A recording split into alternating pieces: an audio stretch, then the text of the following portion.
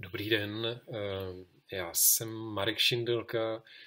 Rád bych touhle cestou vyjádřil svoji podporu všem lidem na Ukrajině, které zasáhla tahle příšerná válka, nepochopitelná, nesmyslná, lunatická věc. Já, já, mně to přijde jako zlý sen, jako noční můra.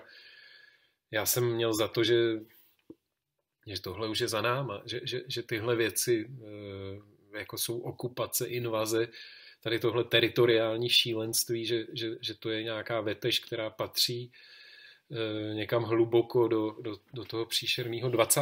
století, eh, ale očividně ne. No.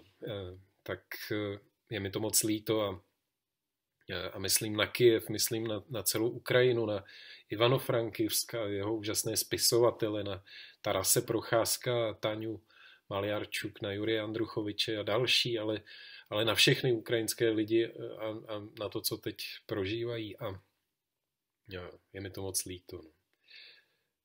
Um, takže sláva Ukrajině, no. co, co jiného říct.